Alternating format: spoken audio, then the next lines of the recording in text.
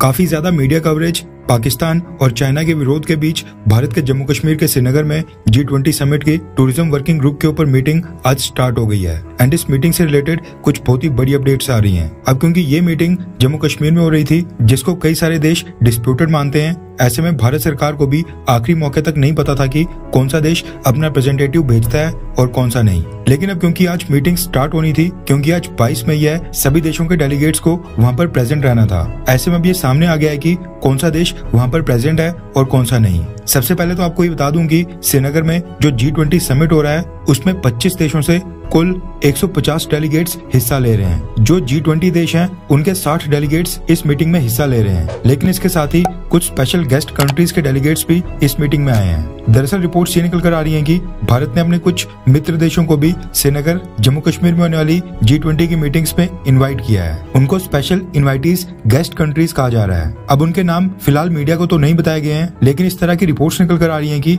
ये देश भारत के पड़ोसी देश और कुछ मिडिल ईस्ट से देश हो सकते हैं। आज से श्रीनगर में ये जी समिट का सेशन स्टार्ट हो गया है और अब ये मीटिंग्स श्रीनगर में अगले तीन दिन तक चलेंगी। चाइना के बारे में तो सबको पता था कि चाइना इस मीटिंग में नहीं आ रहा है। चाइना ने तो खुद घोषणा करके आधिकारिक तौर पर इस मीटिंग को जम्मू कश्मीर में रखवाने का विरोध भी किया था। लेकिन टर्की और सऊदी अरब ने एंड मोमेंट पर यह मीटिंग अटेंड नहीं की है। मीटिंग से कुछ ही दिन पहले सभी जी ट्वेंटी सदस्य देशों को अपने डेलीगेशन की रजिस्ट्री करवानी थी। ये बताना था कि उनकी तरफ़ से कितने मेंबर्स का डेलीगेशन जम्मू कश्मीर में आना है, ताकि भारतीय सरकार उनके डेलीगेशन के लिए उसी के अकॉर्डिंग इंतज़ाम करके रखती। खबर निकल कर आ रही है की टर्की और सऊदी अरब इन दोनों ही देशों ने ये रजिस्ट्री नहीं करवाई थी। इजिप्ट पिछले कुछ सालों से भारत के काफ़ी करीब आ गया है। ऐसे में भारतीय सरकार ने स्पेशल इन्वाइटीज गेस्ट के तौर पर इजिप्ट को भी जम्मू कश्मीर में होने वाली इस जी ट्वेंटी की मीटिंग के लिए इन्वाइट किया था। लेकिन इजिप्ट ने भी भारत की रिक्वेस्ट कबूल नहीं की और इस इवेंट के लिए रजिस्टर नहीं किया। भारतीय सरकार को ये चीज़ पहले ही पता थी कि इन तीन देशों ने रजिस्टर नहीं किया है। लेकिन इजिप्ट, टर्की और सऊदी अरब की सरकारों ने चाइना की तरह कुछ भी आधिकारिक घोषणा नहीं की थी।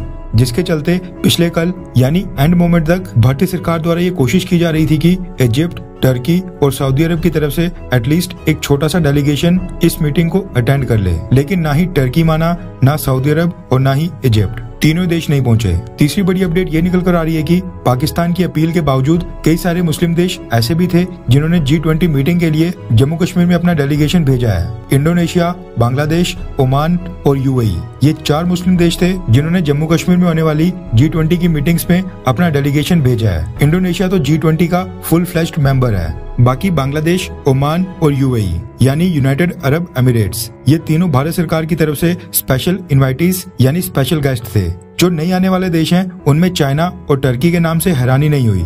लेकिन सऊदी अरब और इजिप्ट ने जम्मू कश्मीर में होने वाली जी ट्वेंटी की इस मीटिंग को बॉयकआउट किया, इसके ऊपर हैरानी हो रही है। क्योंकि सऊदी अरब की सरकार भी भारतीय सरकार के साथ बहुत ही अच्छी टर्म्स के ऊपर है। दोनों देशों के बीच डिफेंस टाइस लगातार मज़बूत हुए हैं। और इंडियन नेवी तो आज की डेट में कोची में सऊदी अरब की नेवी के 55 कैडेट्स को 24 दिन की ट्रेनिंग भी दे रही है। फिर भी सऊदी अरब ने भारत नहीं, पाकिस्तान को चुना। सेम चीज़ इजिप्ट ने भी की, जिसको भारत ने कोविड 19 की वैक्सीन गेहूँ, सब कुछ दिया। लाइफ सेविंग ड्रग्स भी दिए।